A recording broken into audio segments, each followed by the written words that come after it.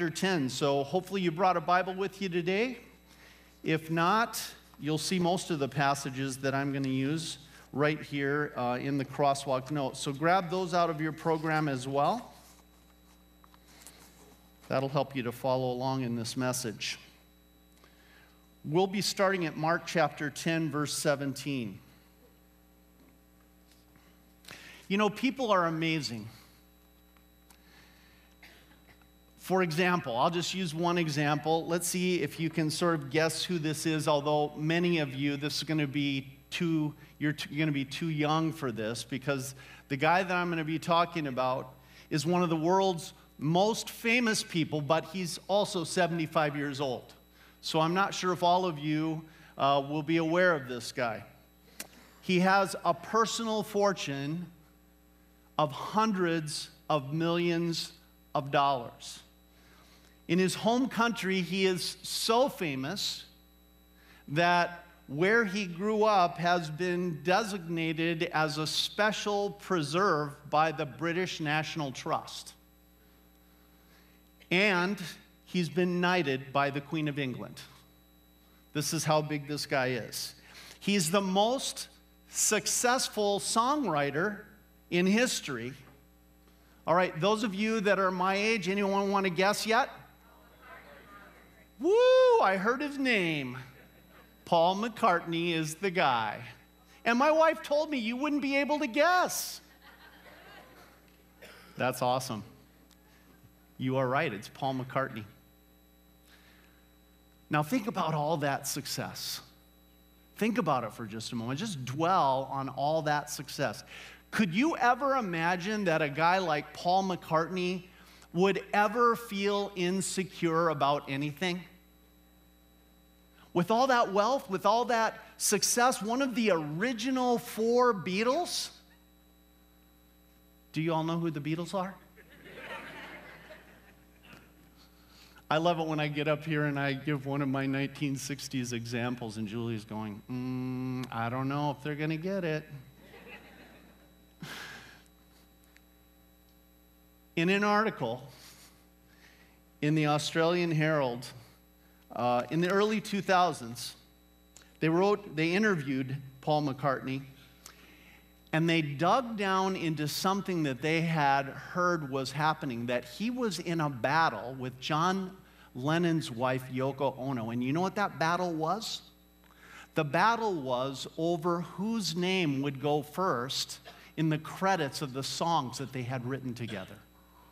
Whose name would be listed first. And they're like, Really? You're going to have this? You, Paul McCartney, the most prolific, successful songwriter in the history of the world, a knight of the realm, are going to argue about whether John Lennon's name goes first and yours goes second, or yours goes first and his goes second. Now, listen to his answer.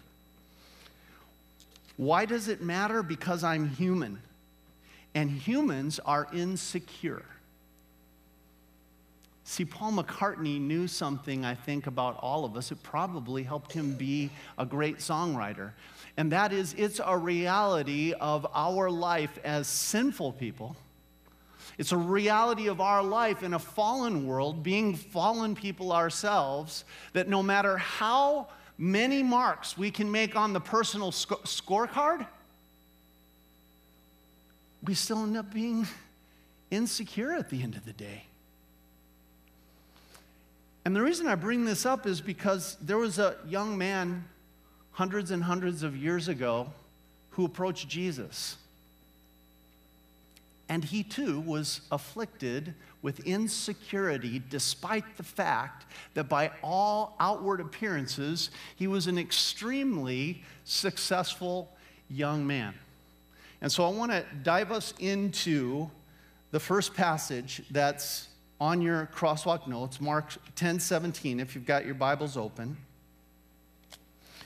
And this is what it says As Jesus started on his way, a man, and if you, if you want to, you, can, you could write an insecure man, because that's what we're going to see here. An insecure man ran up to Jesus and fell on his knees before him. Picture that in your mind for just a moment. This is a guy that so wants to meet Jesus, despite all his successes, that he runs to catch up to Jesus. And when he does catch him and get Jesus to turn around and pay attention to him, what's the first thing he does? He gets down on his knees before Jesus. And then he says, Good teacher. He asks, What must I do to inherit eternal life? It's interesting, isn't it? That this guy has had, as we're going to find out, all kinds of success. He's a man of great character. So much so that when in just a moment Jesus says, You know the commandments, this, this young man is going to say, I know them and I've fulfilled them ever since I was a little boy. Jesus is going to challenge him a little bit further, and the problem that's going to be brought forward in our Bible text for this morning of why he can't quite get over the hump and follow Jesus is he's got too much wealth built up. He's been successful. And yet, something is still driving him at this point to book it to Jesus grab Jesus, get down on his knees, and say, Jesus, I, I still don't feel secure. I feel like there's still more for me to do. I feel like I need you to be my guru and help me understand how I can really feel safe and secure. And so he approaches Jesus. And he approaches Jesus through a paradigm that is not unusual at all. And by paradigm, I mean just a normal pattern of thinking. In this man's paradigm, in this man's normal pattern of thinking, he sees Jesus as a religious leader. I used the word guru a moment ago. And here's the problem with thinking of Jesus as a religious leader it's that word religion. That word religion, if you go back to its original Latin meaning, that's where it comes from, it, it's, a, it's a word that means an obligation. It's a word that literally was used to talk about bonds that tie a person up. And in the Middle Age, it became a word that was used for putting yourself under monastic vows. Do you see the question he asked Jesus? If I want to follow you, what are my obligations? If I want to follow you, how are you going to tie me up with ropes so that I'm bound? What vows do I have to fulfill if I want to follow you? You see the question there. Good teacher, what must I do? Will you circle that word do? We used this concept several weeks ago. Mentally, for this guy, there was a scorecard. And he's sitting there going, I got to fill it in with my score. I, I, I just got back from visiting my grandkids, and they have a board game that they love. It's called Ticket to Ride. Has anybody ever played Ticket to Ride?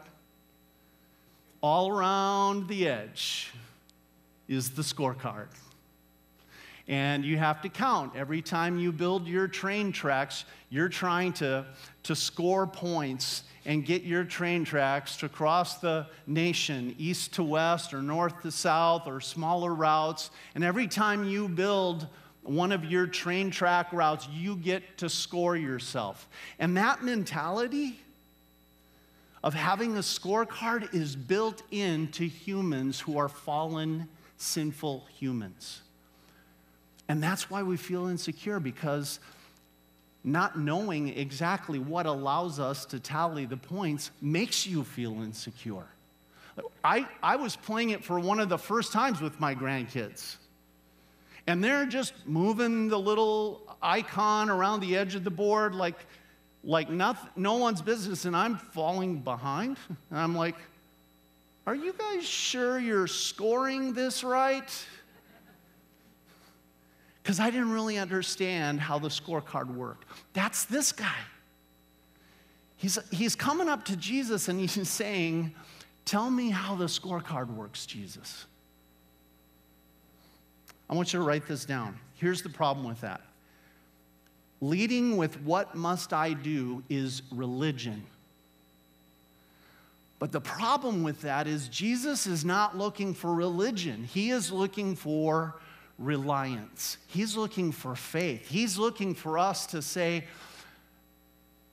How can you help me, Jesus? How can I just lean into you and rest in all that you've done and stop worrying about what I need to do? So there's a huge problem from the very beginning because of this guy's paradigm. And I'm bringing this out because I'm telling you, this paradigm is very common. Because we all feel insecure.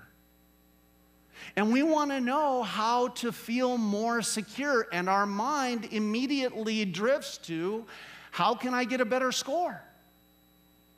Maybe if I'm more successful at my business. Maybe if my family is solid. Maybe if I have enough in the bank. Maybe if I'm perfectly healthy because I work out and I eat right. You see, we all have the scorecards. And what Jesus is saying is stop, that's the wrong question. Because any question with me and a scorecard involved in it, that's mutually exclusive. That is religion, not reliance. So we go on. Why do you call me good? Jesus answered. You see, Jesus got to challenge this scorecard mentality, this doing mentality, because think about even to the Old Testament. Trust in the Lord with all your heart. That is, rely on me. Trust in the Lord with all your heart and lean not on your own understanding. So, Jesus, he's got to challenge this. Why do you call me good? Jesus answered, No one is good except God alone. You know the commandments you shall not murder, you shall not commit adultery, you shall not steal, you shall not give false testimony, you shall not defraud. Honor your father and mother. So, where does Jesus start? He says, Well, let's take a look at that scorecard. How are you doing in all the categories that, that God has given? And here's the interesting thing about that scorecard when you go down the path of God's laws, God's rules, and trying to fulfill those, at some point you're just going to be exhausted at some point you're going to go, man, this it's just not possible. Especially if I follow what Jesus says when he says it's not just outward actions. Nor is it just words, but it's even the thoughts of my heart that God counts. And so Jesus starts ticking this off, and, he's, and he starts even before that by saying, Let's take that word good that you used. Now, sometimes people say, Is Jesus saying that I'm not good? That's not what he's saying. He's, he's saying to this young man who thinks that he's good, as we're going to see in just a moment, you can't be good. And the reason you can't be good is that we know that only God is good in the sense of being morally perfect in the sense of always acting to benefit and love others rather than benefit and love yourself. Only God is good in the sense of being able to focus outward instead of always looking within ourselves and saying, I'm the center of the universe. Only God can do that. You see, even religion, what must I do? Do you hear the ego there? What must I do. Not what have you done, Jesus, but what must I do. Everything is about ego. So Jesus trying to break that down. But listen to what the young man says Teacher, he declared, All these I have kept since I was a boy. This young man probably was a man of very high character. Probably was a man who sincerely loved God's laws and wanted to do his level best to follow them. And yet, his obedience led him down a false path. Remember the story of the prodigal son? The one who asks for, asks for his inheritance and then runs off and squanders it? Do you remember that there are two sons in that story? And do you remember what the second son did? The second son, son stayed home and faithfully served his father, which sounds awesome and great until you get to the end of the story. And at the end of the story, you discover there are two prodigal sons, not one. Because the prodigal son who frivoled away all the money comes back in repentance and asks for forgiveness, and the Father welcomes him in grace, which is how our Father in heaven is. And that only ticks off the older obedient son because he thinks the way this young man thinks. Father, look what I have done. And it, that attitude, that paradigm, that scorecard mentality begins to come between him and the Father because he's religious, he's good. And he doesn't realize that his father is not looking for him to have a perfect scorecard. His father is looking for him to rely on him in faith for his love and his grace. I love what it says next. Remember, this series is the one Jesus loved. You might think this would frustrate the bejeebers out of Jesus, that, that that, that Jesus would hear this guy, all these things I've done since I was a little boy, and just look at him and want to smack him across the face. really? You've done all this actions, words, and thoughts since you were a boy? Shut up. That's how I would have reacted. Jesus reacts beautifully. Look what it says. Jesus looked at him and, circle that word, did what? Loved him. Loved him. Okay.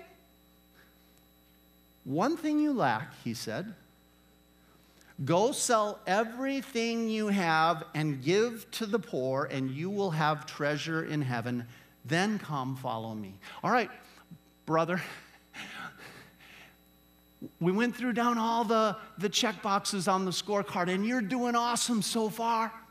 Like, look at that, that checkbox about not murdering. Yep, you haven't done that. Not committing adultery, you've been pure sexually. Check that one. You're not going to steal, and you haven't. Beautiful. You're not lying, gossiping, giving false testimony, not cheating people. Oh, there's one more box. This is the reliance box. This is no longer how you treat other people. This is your relationship with God. Do you fully lean on God for everything in your life? And I mean fully. So fully do you rely on God's love for you that you would do what my other disciples have already done when I went to them on the Sea of Galilee and said, Come follow me, they left their nets behind, their fishing business behind. They left it all and they came and followed me. I want you to do the same. I'm not asking for really any more than I've asked all these other guys. Matthew, he was a tax collector, was making pretty good coin. Left the tax collecting booth behind and came and followed me. Why don't you do that? At this, the man's face fell. He went away sad because he had great wealth. Where was his reliance? Where was his confidence? How, how did he get over his insecurities? Well, he checked his bank balance. And if the bank balance was good, he felt secure. If the bank balance wasn't good, in fact, if he were to empty out the bank balance and give it away, he knew he would feel very, very insecure, even if he was following Jesus, who owns the cattle on a thousand hills. And so he went away sad. Will you write this down? Here's the right question. Not what must I do? Here's here's the right question. In love, Jesus shows us we must ask a different question Can anything be done with me? And this heart that wants to rely on everything but God. Can anything be done so that I can give my scorecard away and receive Jesus' scorecard? You see, here's the, here's the issue with us. When we feel insecure, what that causes us to do is a lot of striving for achievements and accomplishments. And it causes us to strive again for possessions and wealth because accomplishments, achievements, wealth, how do they make you feel? They make you feel more safe and secure.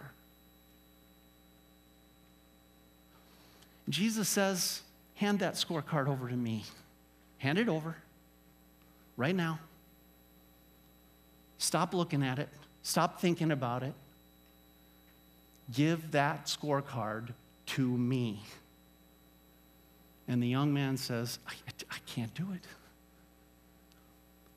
I've gotten so used to my whole pattern of thinking, my whole paradigm of life is wrapped around my scorecard that I am doing things with and I am filling out. And it gives me a sense of power and control and authority over my life. And I feel like I know where I stand when I have the scorecard that says, here's what I must do. Do you know how big the self help industry is in the United States of America right now? I want you to listen to that word self help. You hear the word ego in there? Because you should. $13 billion a year, up from 11 billion just a few years ago. You see, that's why this is so important for us to hear this story, because we still are in the scorecard mode 2,000 years later. We still are in the self help mode 2,000 years later, and Jesus is saying to us, No, don't ask, What must I do? Ask, honestly, as you look at the commandments and as you look at the scorecard that you have, instead come to this conclusion if he's really talking about my actions and my thoughts and my words, every one of them, every thought that flits across my mind, my first thought is Is there anything that can be done to save me? Because who knows me and the reality of me better than me, other than God? And so, this is where Jesus is trying to lead this guy, but now he has a lesson from this guy for the rest of the disciples. Jesus looked around, said to his disciples, How hard it is for the rich to enter the kingdom of God. You see, a very simple illustration of this is achievements, accomplishments, wealth, whatever you want to call it. If your hands, like the, this guy's, this young man's hands, picture them clenched around his wealth. Like, no, you're not, no, no, Jesus, don't ask me to give up my wealth. Tightly clenched. How do you grab hold of Jesus with hands that look like this?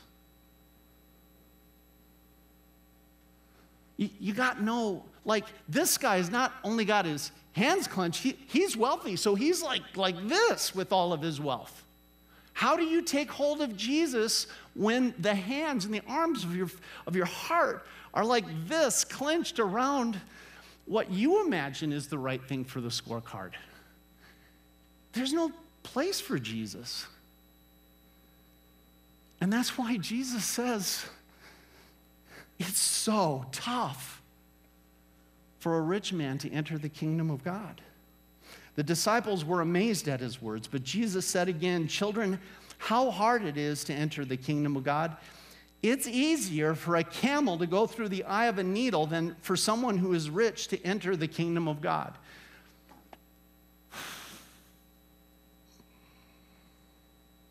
Dare I say it? I don't know if we have one unwealthy person in this room. I don't know all your situations, but I lived in Africa for 14 years.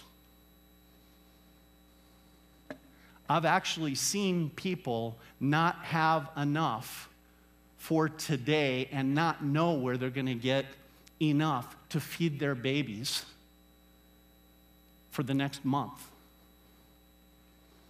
Not know where it's going to come from, have no clue, and still have to try to make life happen. When Jesus says how tough it is for a rich man to enter the kingdom of God, please don't say, oh, he's talking about Joe Schmo for there. He's talking about all of us who have been given so much in a country where we can get work. I'm not saying people haven't gone through tough times in this room. I personally know people who've gone through extremely tough times in this room. And maybe you're there right now. But I'm telling you, Jesus is talking to the vast majority of us right now when he says how hard it is for the rich to enter the kingdom of God. The disciples were even more amazed and said to each other, Here, here it is. Who then can be saved? Can anything be done, Jesus? And Jesus looked at them and said, With man this is impossible, but not with God all things are possible with God. You see, Jesus has said, Be on your watch against all kinds of greed. A man's life does not consist in the abundance of his possessions. And now Jesus goes after this young man and he says, Life does not consist in the abundance of your possessions. And he goes after his disciples and says, I know you've left all to follow me, but remember, life does not consist in the abundance of your possessions. Life, real life, consists in leaning back into me and relying on me. Turn, turn the page. The answer to the question can something be done? Is there any way? The answer is, of course, there's a way. Something has been done. Jesus, the Son of God, was sent to the cross to redeem you, to buy you back from sin and death, to assure you of eternal life as a perfectly free gift from God. Something has been done.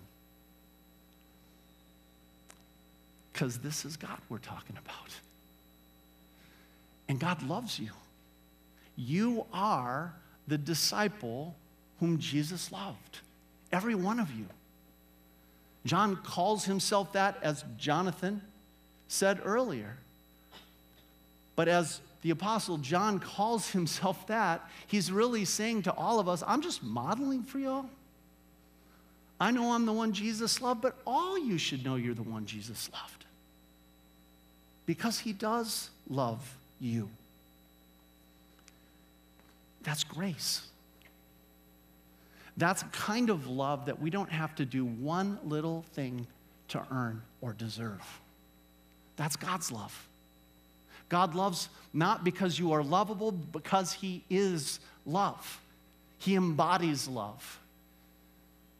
The picture of Jesus really ought to be in the dictionary right next to the word love.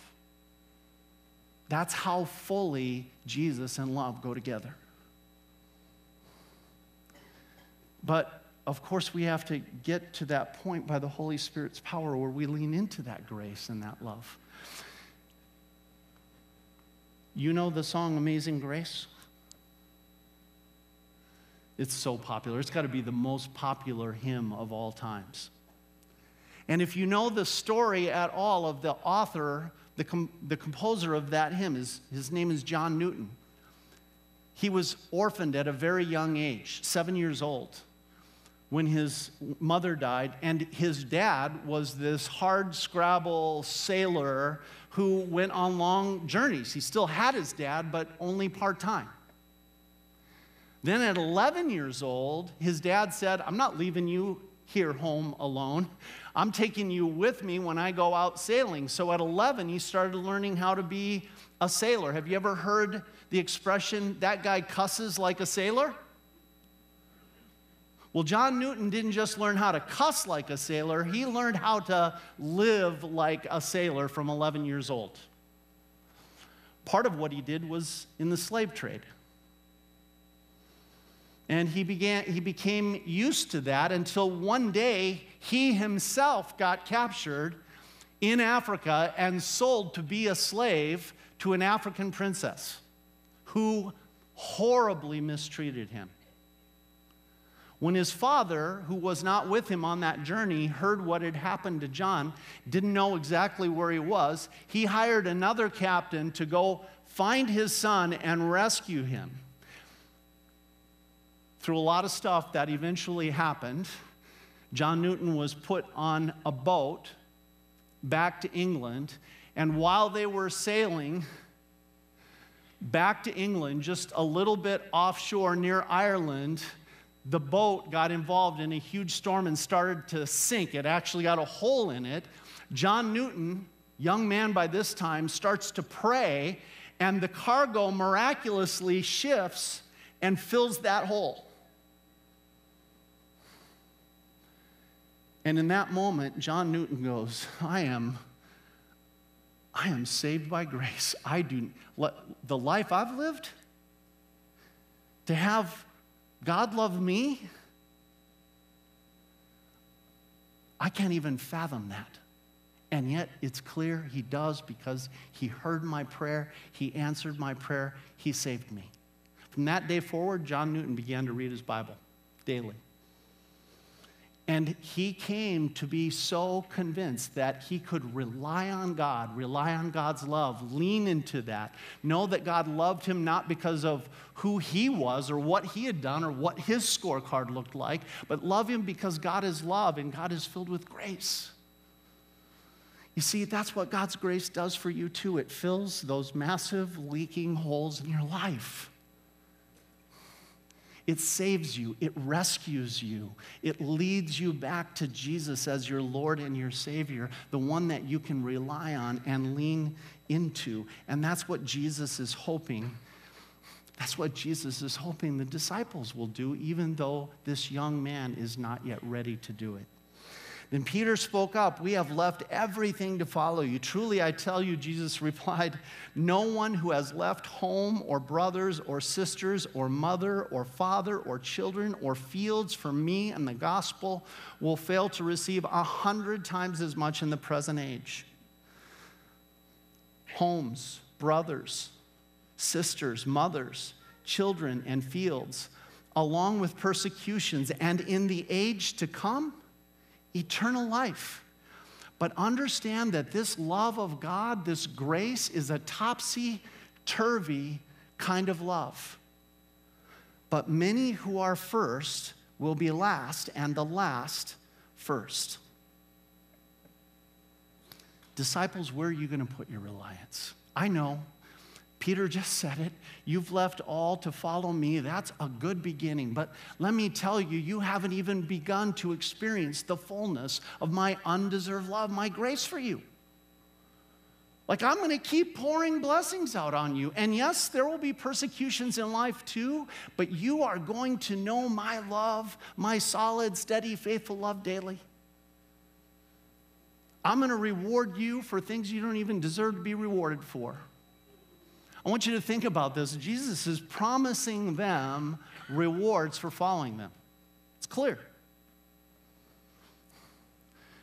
You won't fail to receive a hundred times as much in this present age. homes, brothers, sisters, mothers, children, and fields. Jesus is promising rewards. But I want to take you to another passage, a passage that says, It is God who works in you both to will and to do according to his good pleasure. So I want you to think about this for a moment. You were created as an act of God's grace. Then, because of sin, you were alienated from God. Christ was sent to redeem you. Another act of grace. Then, because God knew that you're spiritually dead, He sent His Holy Spirit to enter your heart and draw you in faith to God to accept this beautiful set of gifts. A third act of grace. Then, it is God who works in you to will and to act according to his good pleasure. You're now a believer, but you're, you're saying to yourself, How can I be more like Jesus? I can't. I'm powerless. Okay, here's some more Holy Spirit for you. I'll help you to want to and to actually act the way, the way that's going to be a blessing for you. Fourth level of grace. And then, for all of that, as a free gift, after I've done all these things to show my love and my grace, you're going to go to heaven one day because you're freely forgiven of all your sins through Jesus' blood. Do you see how grace works? This is why it's called grace upon grace in the Bible. That God just loves you and He keeps on giving. And even rewards you for things that you and I, we really ought to say, God, no. That's way too over the top. But He won't take no for an answer because He loves you. Write this down. Grace is a topsy turvy concept. And when the Holy Spirit helps us get it, get grace, it's life and eternity altering. Now, I want to say this because it's important that you understand a little bit more about John Newton, the author of Amazing Grace. You might think that John Newton walked off that boat when it finally safely settled into an English harbor, and his life immediately changed overnight. You might think that, but it would be completely untrue. In fact, it was decades later before John Newton wrote uh, a letter that ended up being distributed to the parliament everywhere else to say we need to end this slavery thing. Decades later. In fact, John Newton continued to be a slave trader even after he was converted to Christ. His paradigm hadn't yet fully changed. And he still continued to do things that he had developed habits and patterns of doing before. Here's why it's important for you to hear this as you become a follower of Jesus Christ, you may want to set up an unrealistic expectation for yourself. I am a believer in Jesus. And now that I have this new paradigm based on leaning into Jesus' grace and his love, that changes everything for me overnight. And I'm going to tell you maybe, but kind of unlikely. That the pattern of most Christ followers is that your conversion to faith and your baptism is nothing but a beginning. That once your sins are washed away by the blood of Jesus and the waters of baptism, you've taken an initial step, but you have many steps to go as you start to deploy this new paradigm. Now, it is life and eternity changing, but the way the Holy Spirit works typically is that there's going to be time involved. Take a look at these last two passages. For our light and momentary troubles are achieving for us an eternal glory that far outweighs them all. This is Paul talking. You may have heard of Paul's conversion story. And now he's saying, now that I know Christ, I still have troubles Jesus even said, In this world you will have trouble. But I see them differently now. I have a different paradigm. These light, momentary troubles are achieving for us an eternal glory that far outweighs them all. So we fix our eyes not on what is seen, but on what is unseen, since what is seen is temporary, but what is unseen is eternal. So, so Paul wrote these words the day after his conversion on the road to Damascus, right? No. He might have been able to say that conceptually the day after his conversion, I don't know. But these words, where he's saying, I see my troubles in a completely new light now because of following Jesus, these were years, this, this was written years and years later. As that new paradigm of living and relying on God's grace had its time to seep down into his heart and get drawn up into his mind, and then slowly but surely begin to emanate out through his eyes and his ears and his hands and his feet. And I'm telling you this because this is what's going to happen to you if you stay following Jesus. You're going to start to see your troubles in a whole new light because you're going to see them through the, the eyes of the grace of God. Same thing for our treasures. Take a look at the next passage. But since you excel in everything, same book, by the way, Second Corinthians. But since you excel in everything, in faith, in speech, in knowledge, in complete earnestness and in the love we have kindled in you, see that you also excel in this grace of giving, for you know the grace of our Lord Jesus Christ. He's really saying, he's really saying, you're not just going to see your troubles in a new light, you're going to see your treasures in a new light too. Because every time you look at your treasures, you're going to be reminded of your true treasure, which is Jesus. In fact, we're going to sing a song about that in just a moment. Where our true treasure is. And that's what Paul is saying is remember your true treasure, for you know the grace, the undeserved love of your Lord Jesus Christ, that though he was rich, yet for your sake he became poor so that you through his poverty might become rich. Write this down. Grace will have us looking at our troubles and our treasures in a completely different light. Do you want to be secure? I mean, truly, deeply feel safe, right down to the root of your heart. Throw away the scorecard. Take the scorecard that you've been following and the paradigm that you've been following with it and just say, Here, Jesus, here. I don't want this scorecard anymore.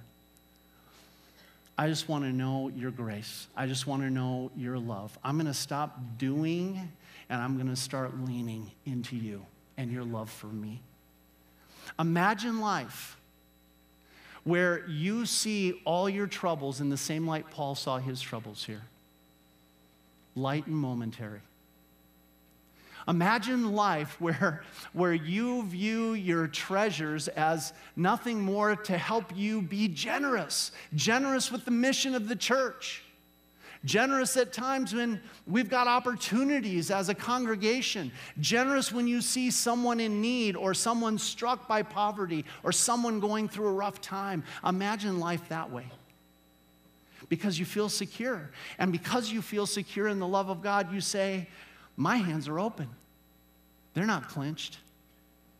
My hands are wide open. So are my arms, and I can use them to grab hold of Jesus, and I can use them to dig into my own pockets and hand stuff out in love because Jesus first loved me, not because of anything I did, not because of my scorecard, but because Jesus already scored everything that we needed to have scored by dying on the cross and rising again. Let's pray. Dear Father in heaven, thank you so much for your son Jesus. You are an amazing God. Your faithful love is with us all the time. Lord, as we hear this this story of this young man who had his hands so tightly clenched around his worldly wealth and around his performance and his accomplishments and achievements. Help us to, by your Spirit's power, just loosen our grip a little bit on those things. Help us instead to empty our hands so we, we can wrap them around you, Jesus, and your love for us. Lord, grace is a topsy turvy concept. We don't naturally get it, but we do love it and we thank you for it. And now, Lord, help us to be secure in every step of our life because of your amazing grace. And we pray this in Jesus' name. Amen.